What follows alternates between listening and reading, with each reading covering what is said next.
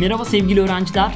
Yazılılar başlıyor ve kanalımız her zamanki gibi detaylı ve animasyonlu yazılı videolarıyla yanınızda. Bugünkü yazılı videomuz din kültürü birinci yazılısı.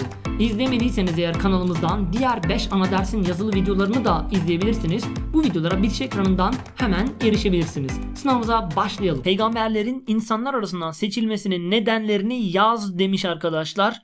Evet peygamberler melek değil arkadaşlar. Cin değil. Başka varlıklardan değil. Evet insanlar arasından seçilmiş. Çünkü insanlarla iletişim kurabilmeleri.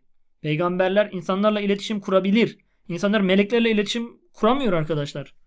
Vahyin yani Allah'ın emir ve yasaklarının Allah'tan gelen mesajların anlaşılmasını kolaylaştırması. Peygamberler bizzat insan olduğu için arkadaşlar insanların duygularını, düşüncelerini anlayabiliyorlar. Onlar da birer insan oldukları için onlar da yedikleri, içtikleri, onlar da yine evlendikleri için insanlara ait her türlü artıyı, eksiği, insanların zaaflarını onlar çok iyi biliyorlar ve insana ona göre model oluyorlar. Evleniyorlar işte evlilik hayatını nasıl sürdürmesi gerekir bir insanın.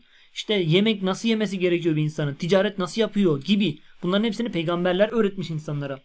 Dini yaşayarak insanlara örnek olmaları sebebiyle. Evet eğer bir melek arkadaşlar insanla, insanlara peygamber olarak gönderilseydi insanlar o meleğe uyarak o dini yaşayamazlardı. Çünkü melekler arkadaşlar nedir? Melekler zaten irade sahibi değildir. Melekler masumdur.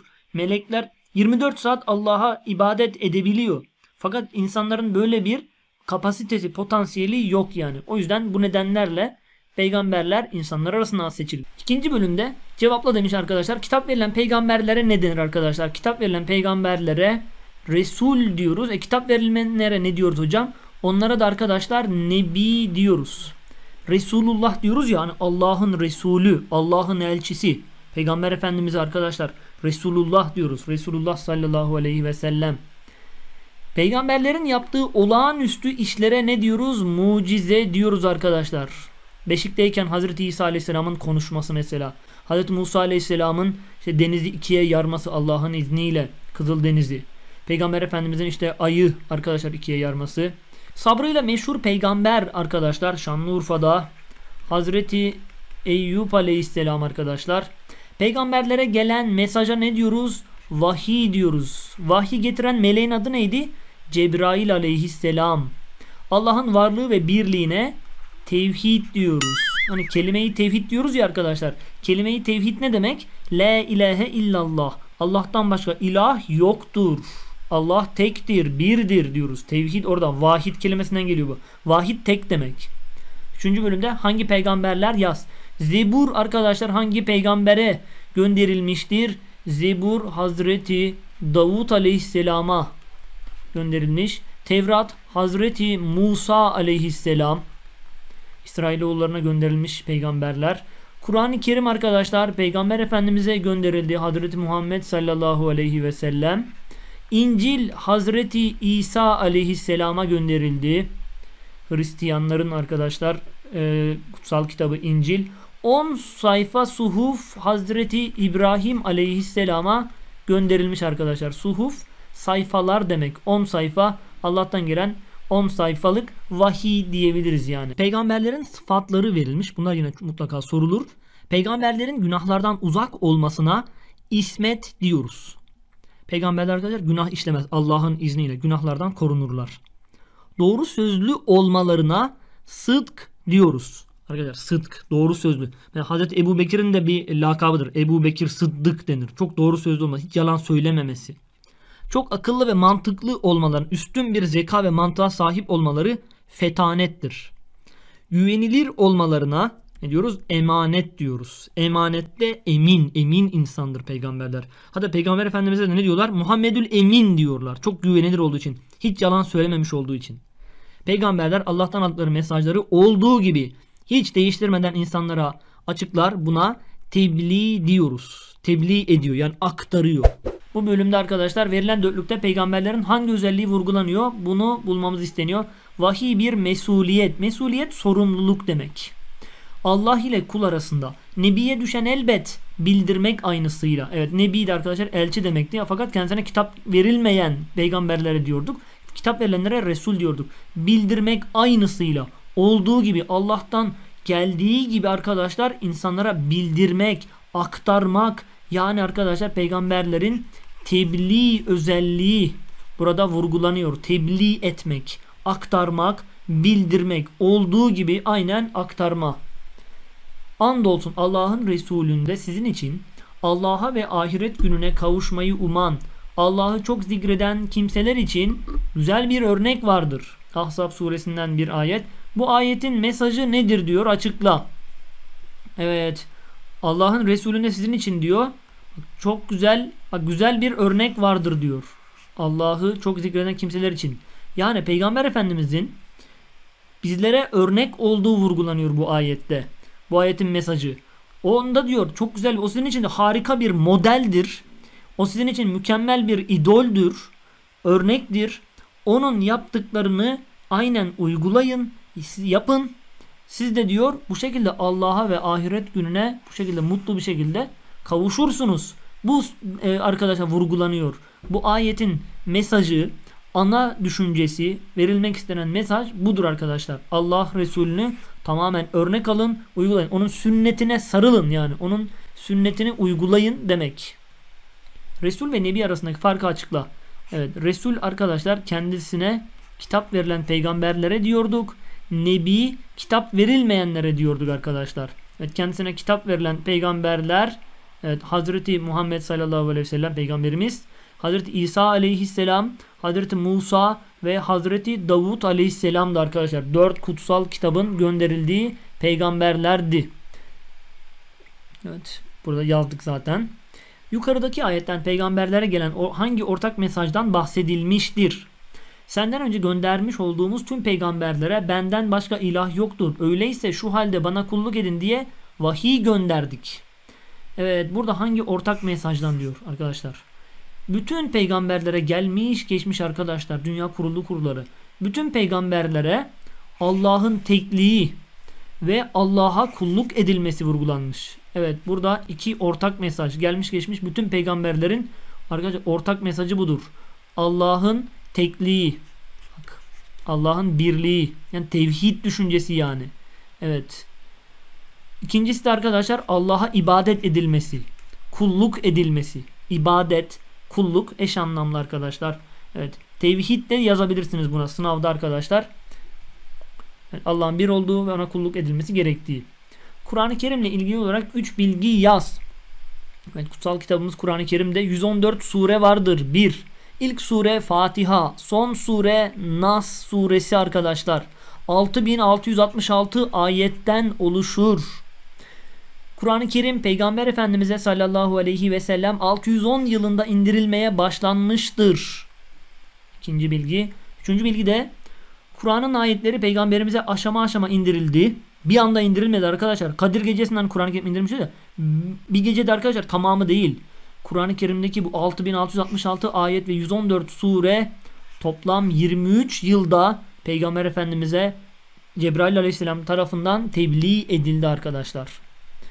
İncil hangi peygambere indirildi? İncil arkadaşlar Hazreti İsa Aleyhisselam'a, Zebur Hazreti Davud, Hazreti Musa Aleyhisselam'a arkadaşlar ne indirmişti? Tevrat. Peygamberimize de Kur'an-ı Kerim indirilmişti arkadaşlar.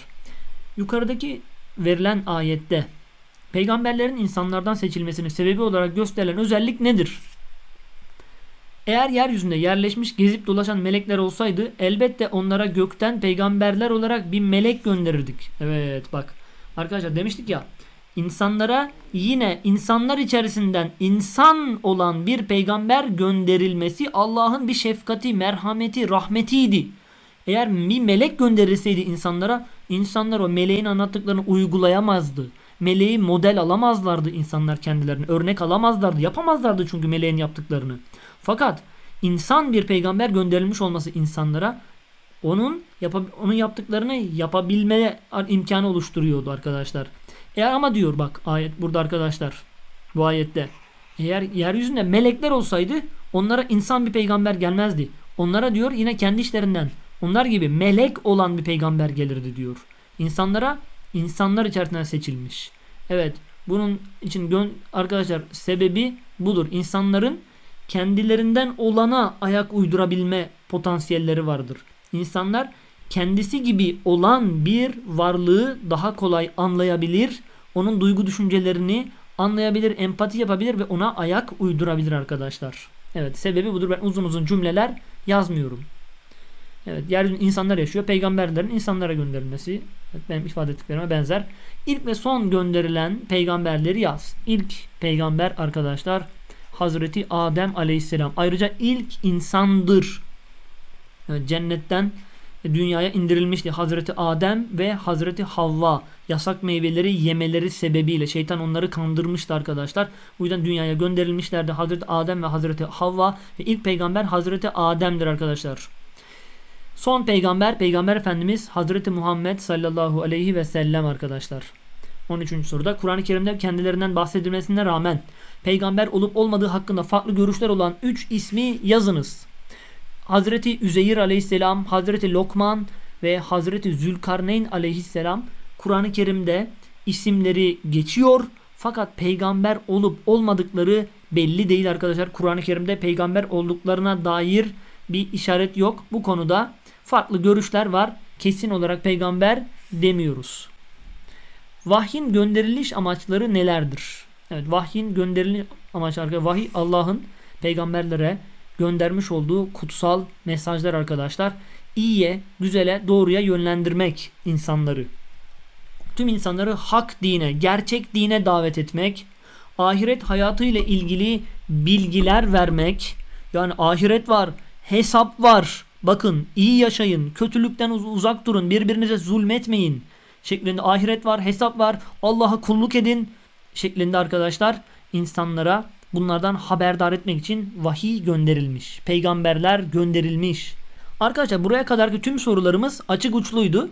Kalan kısmı arkadaşlar yazılıya bir özet olması yönüyle hazırladım arkadaşlar. Doğru ya da yanlış yazıyoruz ve burayı ayrıca üniteyi full özetlemiş oluyoruz. Hızlandırılmış bir şekilde bir konu özeti olacak bu kısım.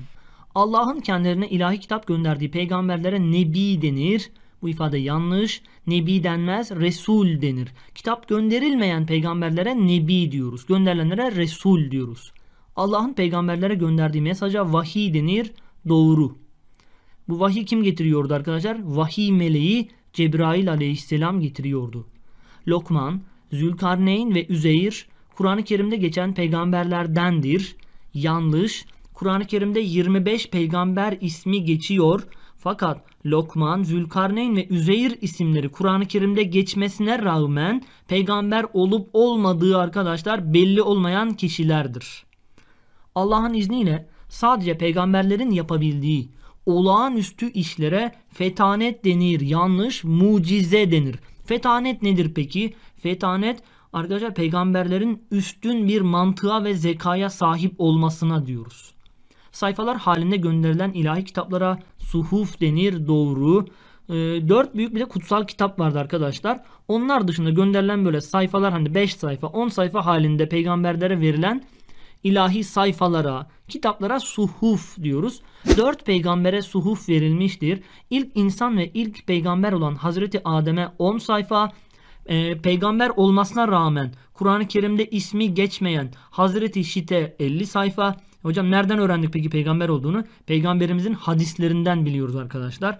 Hazreti İdris'e, İdris'e 30, Hazreti İbrahim'e 10 sayfa suhuf verilmiştir.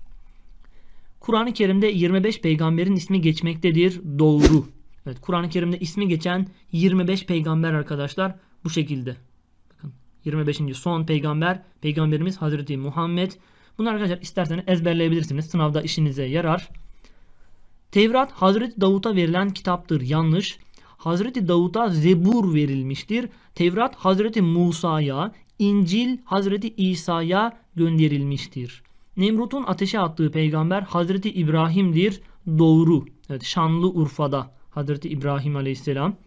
Tebliğ günah işlemekten kaçınmak demektir. Yanlış. Günah işlemekten, peygamberlerin günahdan uzak olmasına, günahsız olmasına ismet diyoruz. Tebliğ peygamberlerin Allah'ın e, emirlerini, buyruklarını insanlara aktarmasına diyoruz. İncil Hazreti İsa'ya gönderildi. doğru. Videomuzun sonuna geldik. Abone olup bildirimleri açmayı ve beğenmeyi unutmayın. Hepinize sınavlarınızda başarılar.